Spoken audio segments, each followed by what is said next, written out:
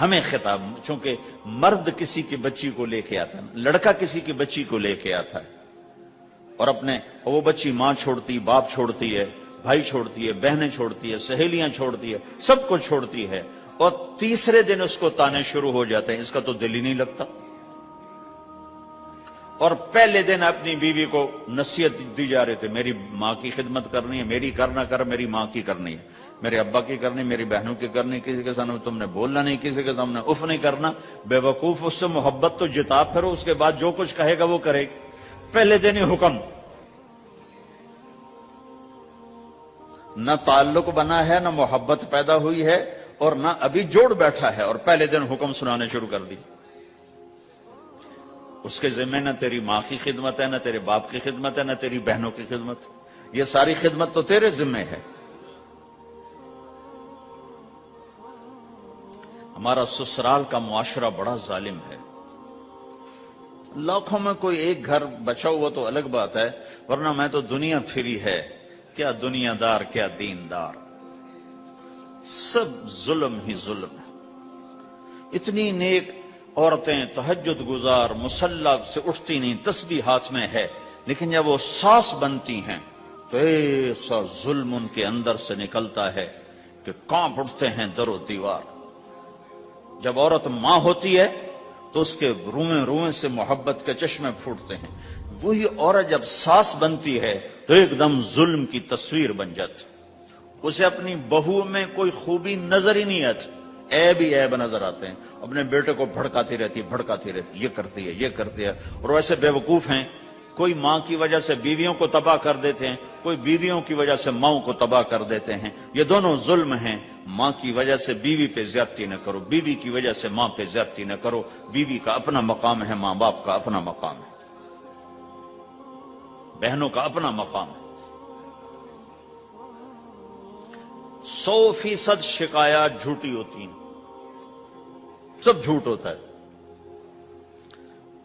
اس لیے میرے رب نے دستور بتایا، ان جا اکم فاسقن بنب ان فتبینو جب کسی کی خبر سنو، کوئی کمی کوتاہی سنو، اول تو سنو نہیں۔ اگر سننی پڑ جائے تو تحقیق کر لو۔ تحقیق کر لو۔ قاضی ایاس کے پاس آیا ایک ایک شخص آیا، روتا ہوا۔ ہے مر گیا ہے مر گیا۔ تو ان کے ساتھ ایک آدمی بیٹھے تھے۔ کہنے کے حضرت، اس کا قضیہ جلدی سے سن لیں۔ بیچارہ بڑا مظلوم لگتا ہے۔ کہنے کے، چپ کر۔ یوسف علیہ السلام کے بھائی بھی رات کو روتے ہوئے باپ کے پاس آئے تھے۔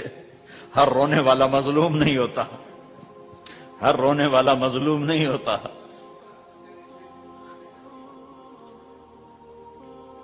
اپنے گھروں کی فضا بناؤ۔ کمی سنو ہی نہیں۔ تمہاری بیوی ماں کی کمی بتانے لگے۔ کہ نہ، مجھے نہ بتاؤ، تیری بڑی مہربانی۔ تمہاری ماں تمہاری بیوی کی کمی بتانے لگے۔ کہ اما مجھے نہ بتاؤ، تیری بڑی مہربانی۔ گھر کی فضا ایسی بناؤ کہ کسی کی کمی کا تذکرہ نہ ہو۔ تو اللہ کی قسم، تمہارا گھر جنت کا نمونہ بن جائے گا۔ یہ معاشرت کا دین بتا رہا ہوں، معاشرت کا دین۔ اپنی بیوی کی خوبیوں کی تعریف کرو، کمیوں پہ پردہ ڈالو۔ بیویوں کے ذمہ ہے خامد کی خوبیوں کی تعریف کریں۔ انسان حوصلہ افزائی کا محتاج ہوتا ہے۔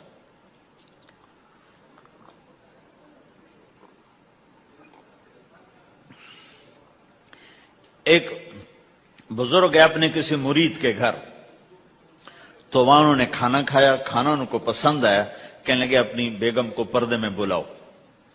تو نے اپنی بیگم کو پردے میں بلایا، کہا، بیٹی، میں نے تیرا ہاتھ کا کھانا کھایا، بہت مزیدار تھا، اللہ تمہیں جزائے خیر دے، تم نے بہت اچھا پکایا۔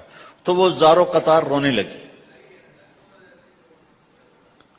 تو انہوں نے پوچھا، بیٹی، کیا ہوا؟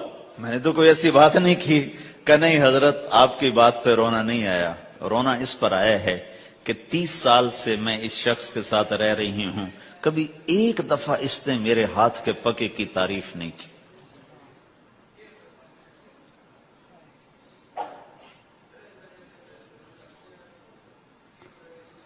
آپ گھر میں تشریف لائے، آپ نے پوچھا کوئی کھانے کو کچھ ہے؟ ام سلمہ رضی اللہ عنہ کا گھر۔ کہ یا رسول اللہ، آج تو کچھ نہیں سرکہ ہے۔ کہ واہ واہ واہ واہ، نعم الادام الخل سرکہ تو بہت اچھا سالن ہے۔ سبحان اللہ۔ کیسے دل جوئی فرمائی اپنی بیگم کی؟ سرکہ تو بہت اچھا سالن ہے۔ یا تو نے نمک کم ڈال دیا، تو نے مرچی زیادہ کر دی۔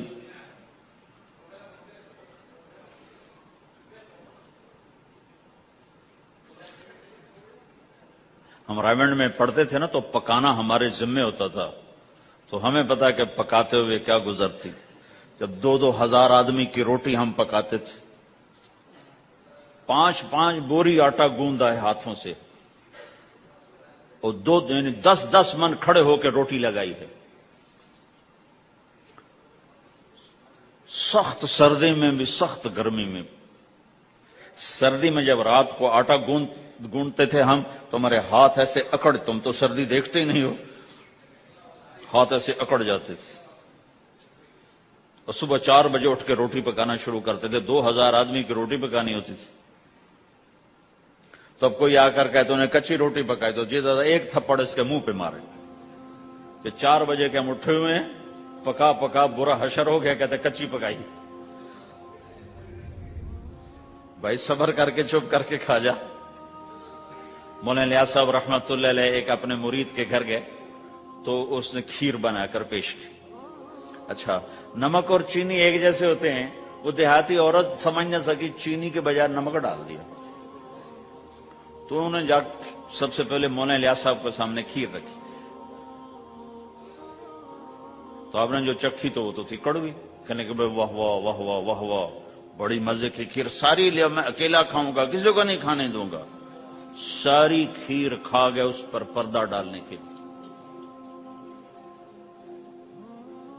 وہ تو جب اس تو نے کہا مولانا لیاس کا بچا ہوا تھوڑا سا میں جب چکھا تو تو کڑوا جا ہائے، مر گئی یہ تو سارا نمک ڈالا ہوا تھا۔ ایک دم ہماری جماعت چنیوٹ میں تھی۔ تو ہمارے ساتھیوں نے چائے بنائی تو وہ اندھیرا سا تھا تو چینی کے بجائے نا نمک ڈال دیا۔ اور دسترخوان پہ لے آئے۔ سب پی رہے۔ واللہ۔ میں آنکھوں سے دیکھا بتا رہا ہوں، مولانا لیاس کا تو سنا بتا رہا ہوں۔ کسی ایک نے نہیں کہا کہ یہ کڑوی ہے، چپ کر کے پی رہے۔ چپ کر کے پی رہے۔ کسی ایک نے نہیں کہا۔ باہر ایک دیہاتی کھڑا تھا۔ تو میں نے اس کا چاچا، آتے نو چاہ پی ماما وہ آ گیا۔ اس نے پہلا گھونٹ بھرا ہوئے تھا کوڑی ہے۔ اس نے بانڈا پھوڑ دیا۔ پھر سارے ساتھی ہنس پڑے کہ چاچا، ہم نے تو پردہ ڈالنے کی کوشش کی تھی خدمت والوں پر پر تو نہیں پردہ چاک کر دیا بانڈا پھوڑ دیا۔ کیا خوبصورت تربیت۔ آٹھ سال ہم نے دیگیں پکائی ہیں اور روٹیاں پکائی ہیں، رامین میں پڑھتے ہوئے۔ تو پکانے والا کتنا کھپتا ہے۔ مفتی زین العابدین صاحب رحمت اللہ علیہ ہمارے بزرگ تھے، بڑے نفیس۔ تو وہ روٹی بڑی نفیس کھاتے تھے۔ تو ان کے لیے مجھے فرمایا اس نے روٹی تو بنا اب میں ڈر رہا تھا کہ پتہ نہیں مفتی صاحب کو پسند نہ آئی تو کیا بنے گا۔ حوصلہ افزائی کتنی ضروری چیز۔ اب وہ میں روٹی ناشتے میں لا کے رکھی۔ اور اللہ کا فضل، اب تو خیر بھول بھلائیاں ہو گیا، ورنہ بہت نفیس روٹی میں بناتا تھا۔ ایک دفعہ میں گھر میں تھا تو رمضان کا مہینہ تھا تو کسی کی آنکھ نہیں کھلی، گرمیوں کا رمضان۔ تو میری آنکھ کھل گئی، تو سب سوئے پڑے، نوکر بھی، گھر والے بھی۔ تو میں نے کسی کو نہیں اٹھایا، چپ کر کے جا کے پرات اٹھائی اور روٹیاں پکانی شروع کر دی۔ جب ساری روٹیاں پک گئیں، آخری پیڑا میرے ہاتھ میں تھا تو میری بڑی بہن کی آنکھ کھل گئی۔ اس نے دیکھا تو میں روٹیاں پکا رہا، کو تیرا بھلا ہو جاوے، ایک ہی کیتا میں کہا، روز تم پکاتی ہو، آج میں پکا کے دے رہا ہوں، اس میں کیا ہے؟ تو میں نے روٹی پیش کی نا، تو مفتی صاحب نے ایک دو لک میں کھائے، تو میں وہ کھڑا سے کہاں بڑا پتہ نہیں اب کیا کس نے پکائی ہے؟ میں نے کہا جی میں نے پکائی ماشاءاللہ، بہت اچھی پکائی تو میرا دل اتنا بڑا ہو گیا۔ حوصلہ افزائی کرنا، برائیوں کو ہماری معاشرت کیا ہے؟ سو خوبیوں میں سے ایک کمی کو نکال کے پکڑ لینا اور سو پہ کاٹا۔ سو نظر نہیں آتی۔ ایک کمی کو پکڑ کے اسے اچھال رہے اچھال رہے اچھال رہے اچھال رہے اچھال رہے۔